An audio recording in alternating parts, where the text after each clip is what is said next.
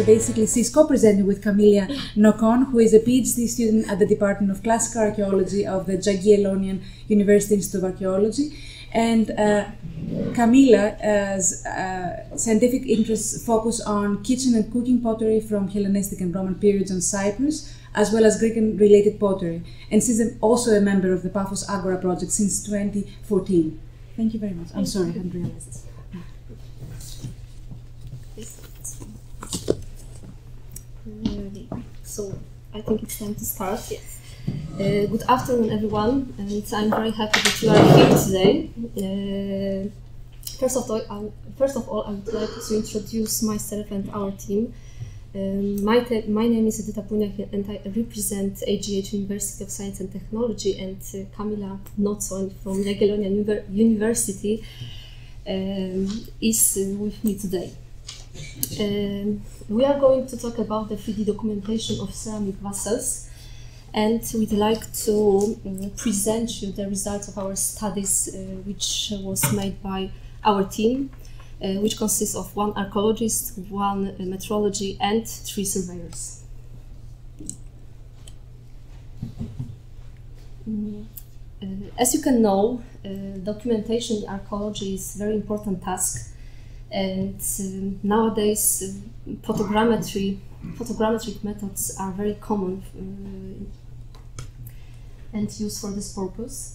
Uh, to make the photogrammetry documentation of archaeological objects more uh, simple and uh, more accurate and even, and even faster, uh, the device called FocusSphere was designed and constructed by one of the co-authors of this uh, presentation.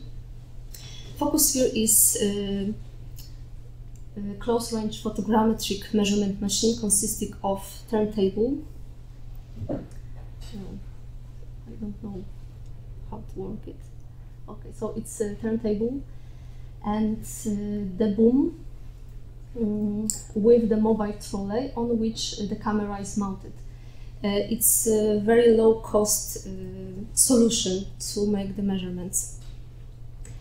Uh, FocusSphere allows us for automatic acquisition of, of photogrammetric data and uh, its characteristic features is that we know uh, coordinates of control points placed on the uh, turntable and we know elements of external orientation of images. It has to be noted that FocusSphere is only prototype and it's still under development.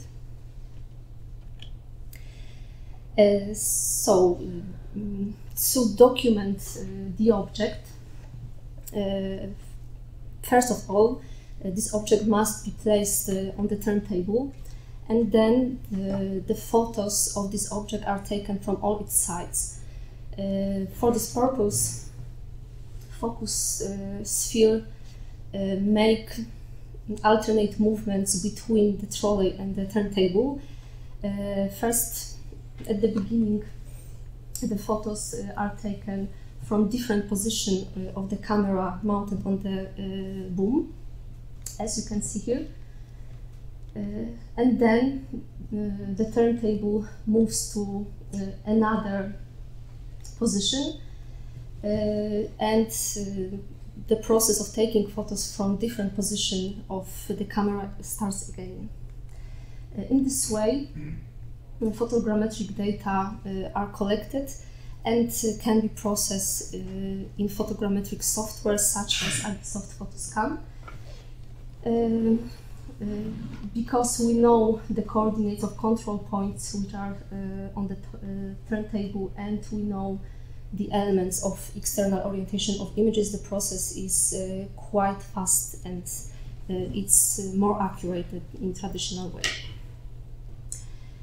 Uh, uh, as a result, uh, result, we can obtain some photogrammetric products such as dense point cloud, mesh models with high, resolution, high resolution texture. Now when you know what is FocusSphere, I'd like to present you our aims of study. Um, uh, dur during this presentation, we focus on verification of the accuracy of 3D models uh, which are created with the FocusSphere. Um, however, now I would like to uh, say a few words about the verification of the accuracy and uh, repeatability of camera positioning in FocusSphere. These two parameters uh, can told us, can inform us about the accuracy and repeatability of uh, elements of external orientation of uh, photos which are taken uh, with the use of FocusSphere.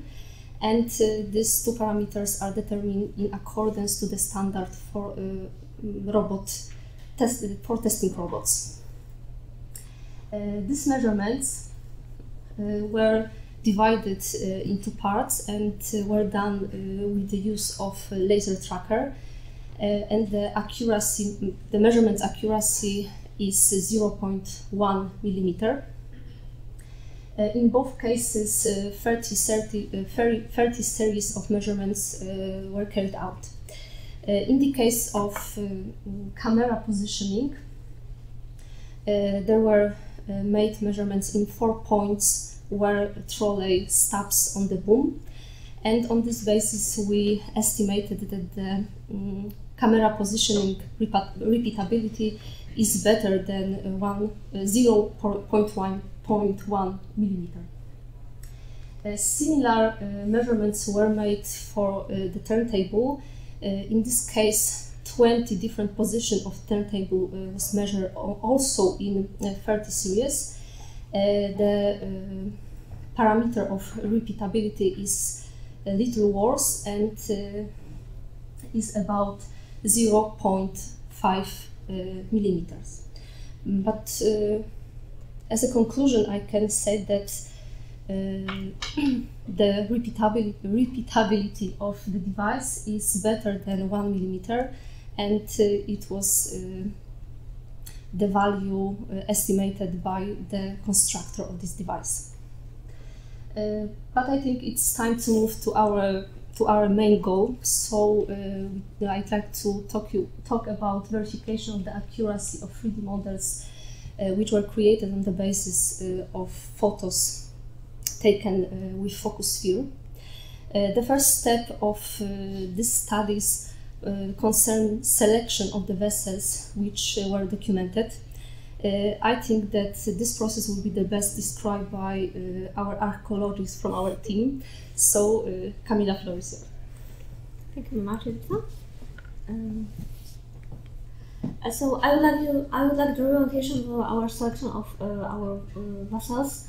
all the vessels which are visible in here are from the Jagiellonian University Institute of Archaeology and from the our collection of antiquities and we decided to choose uh, 17 uh, first uh, vessels were selected but we decided to choose vessels uh, which uh, can be divided to the uh, different groups. First of all, the chronology, the very very old one from the Bronze Age, the Archaic period from Cyprus, and the second group was the uh, decorated vessels uh, from the Corinthian and uh, Athenian and Campanian workshops.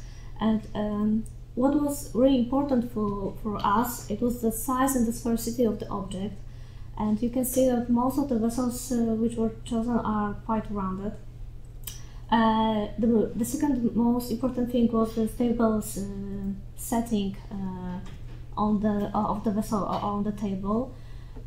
We choose um, objects with open and closed form, as well as flat frames and handles which are which are yeah, which are not so big.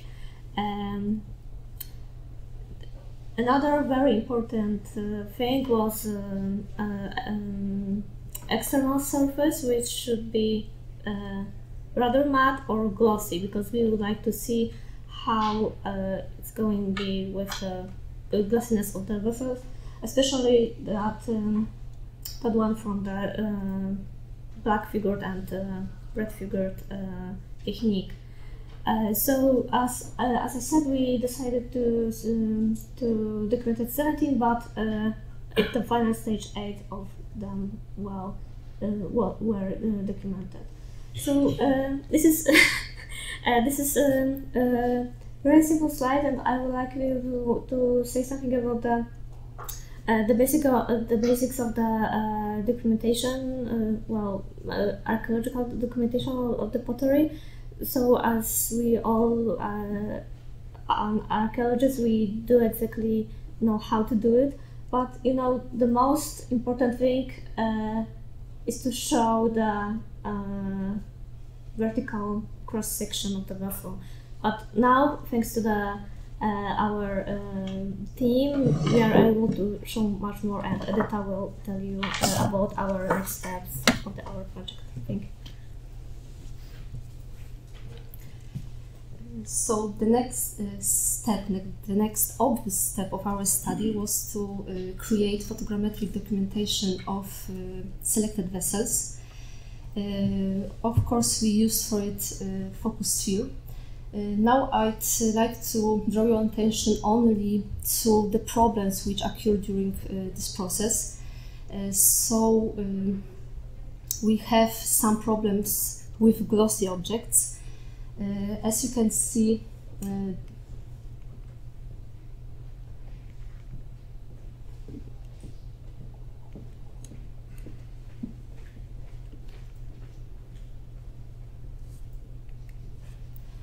as you can see, uh, the creating dense cloud and uh, aligning photos was problematic uh, for such vessels. Fortunately, we found the solution, which wasn't very complicated. Uh, correct light control and uh, using dulling spray turned out to be uh, very helpful and uh, help us to obtain correct photogrammetric products for these vessels.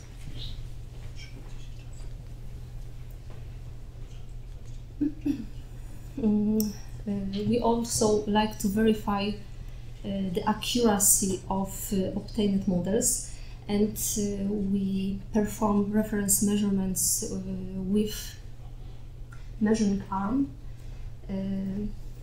using this device, we do measurement with accuracy uh, of 0.3 meters and uh, it's uh, worth to say that the type of measurements is, is touch trigger measurements, and the position of the, of the probe, which is situated at the end uh, of the arm, uh, is determined during the measurements. And our reference measurements was were based on uh, the points which were placed uh, placed on the surface of the measure uh, of the vessels, especially on uh, characteristic sections. Uh, the measuring uh, procedure, especially preparation for measurements, was rather time consuming. in this step, selection of char characteristic points uh, being um, control network and definition and indication of uh, char characteristic section was uh, most important. Uh, after that, data acquisition was uh, rather fast, but uh, there also occurred some problems. and it was connected with no possibility to measure complex shapes and uh, no possibility to measure accurately points where two uh, arches meet. As you can see here, it's because of the radius of the probe. Uh, the processing of reference data takes several steps. The first one uh, concerns the projection of measure points onto section planes, and it was uh, rather um, simple. Uh, the second one uh, was the most important but also the most problem, pro problematic uh, step uh, during the development of data because we must to re reduce our measurements because of the radius of the measuring probe. Uh, you should know that during the measurements, the center of the probe, the coordinate of the center of the probe is determined, and uh, we are interested in the coordinates of the points uh, which are placed on the surface of the vessels. So we have to uh, take this offset uh, into account. And the last step of our of data development was quite simple and it was connected with drawing the spline lines. as a result, we get the final section line section lines of our vessels. Um, in this way, we documented uh, seven vessels and uh, we estimated that the accuracy of section lines is about 0.3 millimeters. Uh,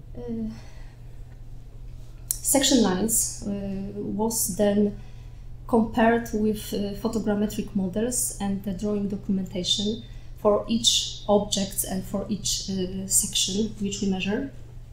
Uh, and let me show you the results only for uh, one vessels because of the time. Uh, as uh, these slides show the vertical section of uh, one of the vessels and some characteristic um, places on this section. As, as you can see, the um, difference, the distance between the section line and the photogrammetric model is about 0.5 millimeters. on Second, the next slide shows uh, one of the horizontal section and here you can see the obvious advantage of photogrammetric uh, documentation. As you can see, uh, the photogrammetric model is very, very detailed and uh, uh, using the measuring arm did not allow us to reconstruct the shape of the vessel as uh, detailed as photogrammetric tool. Uh, however, this uh, slide sums up uh, the results of all our analysis and the parameters which are here are related to all uh, measured object and all measured section. As you can see, uh, the accuracy of uh, 3D models, 3D photogrammetric models are uh, is 0.4 millimeters. Uh, what is what's more, uh, there is no systematic error between these two data sets because the mean value of the distance between uh, section lines and the photogrammetric models is only 0.1 millimeters and it's the value um, less than the accuracy of reference measurements. Uh, in the end, I'd like to show you only the comparison between the section lines and the drawing uh, documentation of the same vessels. As you can see, the differences are much bigger and exceeded uh, even 4 millimeters in some places. And uh, as a conclusion, uh, I'd like to underline that uh, FocusSphere um, uh, can be used for documentation of archaeological object and meet the strict condition of geometry and texture accuracy. Uh, this method is uh, safe for objects and uh, is it can be fast and reliable uh, solution for uh, digitalization of selected objects of, or even the entire collections. Uh, and it's everything we'd like to show you today. Thank you for your presence, and we are looking, we are encouraged you to ask questions.